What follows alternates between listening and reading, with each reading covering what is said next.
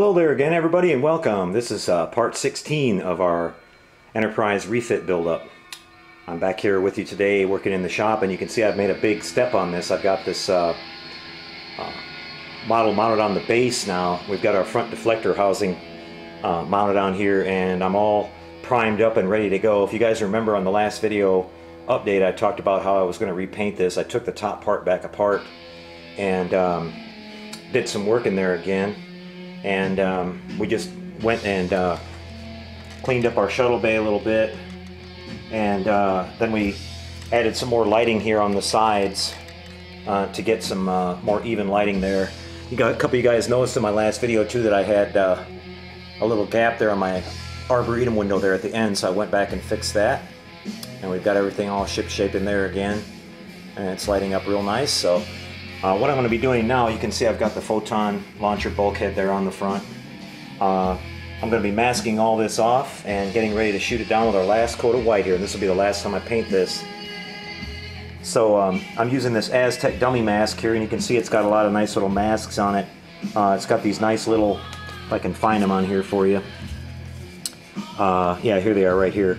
It's got the nice little uh, masks for the little red uh, beacons there in the back here above the shuttle bay because uh, those are kind of hard to mask off so we want to keep those really clean.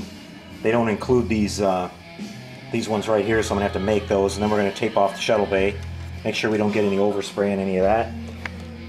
Same thing up here on the um, photon launcher and all my little lights I'm to mask all those off on the top and the bottom.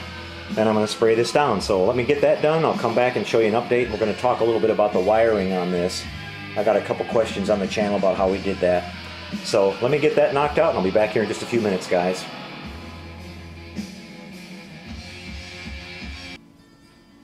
Hi there again, guys. I'm back with you and I'm back out of the spray booth and she's all prettied up now. She's all painted. Uh, everything's painted real nice, all covered really nice and smooth and uh, I sanded this a couple times again so everything is real nice on it.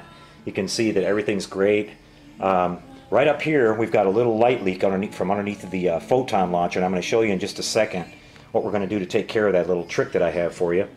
And uh, let's just walk around it a little bit here. Again, back at the shuttle bay, uh, you can see that now that we've got all of our painting on this, we're not getting all the, the light bleeding around the top here and all the around the edges and everything. We've got our little um, uh, light there working perfectly at the bottom and here at the top. And I think the shuttle bay and this is just about perfect now. I'm really, really happy with how all that turned out. So I'm done with that finally. And uh, now I can start painting on all the details here, these blues that go on these panels, the leading edges of the um, uh, pylons, and uh, all the other little details that we've got to paint onto this up here above the neck and uh, on the front side of the neck. But uh, we, are talking about this wiring a little bit here too. A couple of you guys asked some questions about that. Uh, so I'm going to show you here. Um, what I did is I've got power coming in, which is uh, 9 volts, which runs all the main lighting on here and I've got all these little separate circuits marked. Uh, this one here is for the uh, beacons, which that's a separate one that will be hooked up. I'll run this wire up through the neck and out into the saucer, and that'll connect up to our board. Um, and uh, let's see, down here we've got, uh, that's main power. This one here is marked chiller. So uh, this one will go up through the saucer too, and that's going to tie into our little fader board that I showed you guys before. Uh, that'll tie into the, uh, the, uh, blue side of the circuit. When the blue bulb lights on the top of the crystal, uh, that will uh, turn on the uh, flux chiller grills. So we'll route that up through there too. And um, let's see what else have we got here. We've got the thrusters, which are the little RCS thrusters. That same one will also go up through the neck and we'll tie that into the board. And those are all routed out here to the pylons. Now I'm going to set the camera up on the tripod real quick and we'll show you what we're going to do to fix this light leak here and we're also going to talk about some of this wiring a little bit more. And uh, I'll be right back with that.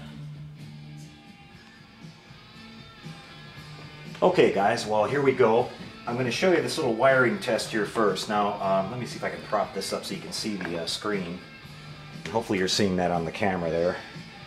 Uh, let me slide it over just a little bit. You can see uh, I've got this little multimeter here and uh, we're showing zero right now.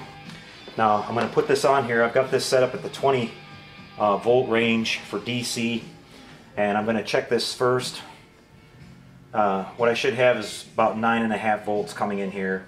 I've got about 9.9 volts coming in from my power supply, so that's what's powering the model. So back up here, I told you that I've wired these in. Um, these floodlights are uh, going to be tied in directly to the power on, so what I want to make sure of is that I've got power coming in here. And uh, sure enough, we've got the same voltage. We've got the same 9.9 volts coming in at this uh, circuit right here. So when I connect these to the uh, wiring that's inside of the nacelle, um, that will light those up. And that's basically what you're doing with all this wiring. You're just going to check to make sure as you hook each thing up that you've got power going to it.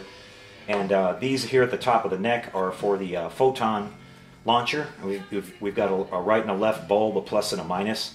Those will go right to the uh, photon launcher board, and that also will be mounted in the uh, in the saucer. So, okay, well let's talk about this light leak a little bit here. Um, we've got uh,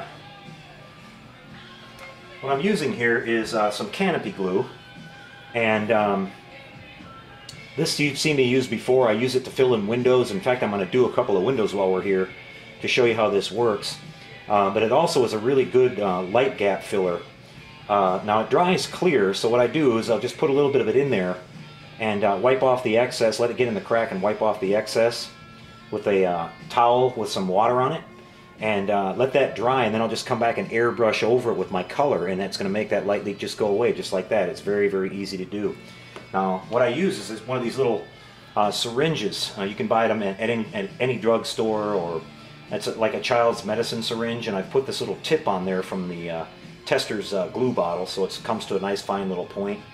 And what I'm going to do right now is I'm going to inject this in here. Let me uh, get the camera set up where I'm a little zoomed in on it for you here so you can see exactly what I'm doing. And get in nice and tight on it. Can't really see that light leak from here when the lights are on, but trust me, it's there. Okay, so what I'm going to do is, I've got my little water bottle here and I've got a little towel. Uh, I'm just going to put some water. The, the, water breaks this stuff up right away and it, does, and doesn't allow it to smear when you go to wipe it off. And it doesn't hurt paint or anything, so you can uh, put this on there and not worry about it getting into anything. So what I'm doing here is just uh, pushing it right into that little crack. And it's filling it in there real nice. I'm just going to come around the side here because it kind of goes around the corner a little bit. And all the way up to the front. Now I've already got it filled. And so now I'm just going to take this towel and wipe it off. And I'll have to fold it over here to make sure I get all the way up in there. And that's it, presto. We've got a nice um, bead laid down in there and that light leak will be sealed up. Now I'll let that dry for, for a good hour or so and then I'll come back and just touch over that because when it dries it'll, it'll, the light leak will come back because it's clear but you have a, a covering over it now and it's not rough like Bondo or, or putty so when you wipe it with this towel, it, it wipes it really smooth. So when I paint that, it's going to look really nice. You won't even see it. So let's do that same thing here, only this time we're going to do a window. Now, um, I come back and do these windows all at the end with this stuff. You can see I just injected it right in that little window port right there. And I just wipe it off. And that's going to dry nice and flush. And that's going to leave a perfect window in there when we're done. That's how I'm able to uh, that's how I'm able to paint these models and not mask off all these windows. Now, we can fill these bigger ones too. Let's fill this one here.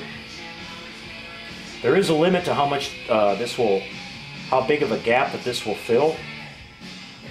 Um, in fact, let's go, go ahead and do all three of these. Um, for example, the Arboretum windows are a little too big, and plus I wanted those to be super, super clear. These, uh, this stuff does not dry completely clear like um, uh, you know regular glass or whatever. But you see how nice that works? That's just simple as can be.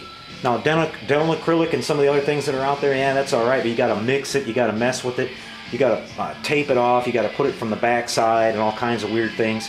This is just a really quick, simple way to do this. In about three hours, that's going to dry and that's going to be uh, that's going to be perfectly clear and uh, it's going to be perfect little windows on the model. And so now you can go ahead and paint this entire model like I did and then come back and do all these windows. and uh, it's just as simple as that. So, okay, well that's uh, that's our uh, tip of the day, trick of the day. so I hope you guys will put that to good use. And again, this is canopy glue. Um, you can buy this at any hobby store. Probably they even carry it at, uh, I'm not sure they may carry it at uh, Michael's and uh, some of the, the, big chain stores, but I pick it up at my local hobby town. And uh, so we have our wiring we talked about a little bit, and we talked about our filling light leaks. So I'm going to go on now and fill the other light leak on the other side and do more of these windows. And uh, then I'm going to call it a day. So I hope you guys have enjoyed this update. Uh, we'll be back in a couple more days. I'll have some uh, detail painting that I'm going to be doing on it, and that's really going to start bringing it to life. We'll put our uh, strong back decal on there, and then we're going to start doing all the beautiful Aztecing that goes on the hull. And that's really going to start lighting this baby up. We put those nice lightning bolts on the pylons, and I wanted to mention that I've been using the Aztec dummy mask, but uh, I found a brand new uh, masking set off of eBay. Uh, myself and one of the other guys, Jerry, HDATX from the Sci-Fi Model Action Forum, we both ordered a set. It looks like a really nice set. Uh, they're made with a lot better material that you can put them on and they don't stick. Uh, and they're they're made so you can do like large sections at a time. And uh, I'll do a little review of that when I get it in here in the next couple of days. And we're going to start using that. And I think it's going to speed up the whole process on this. We're really going to start moving. So, all right, guys. Well, take care out there. I hope you're having fun building your models and happy modeling. We'll catch up to you in a few days. Take it easy, guys. See ya.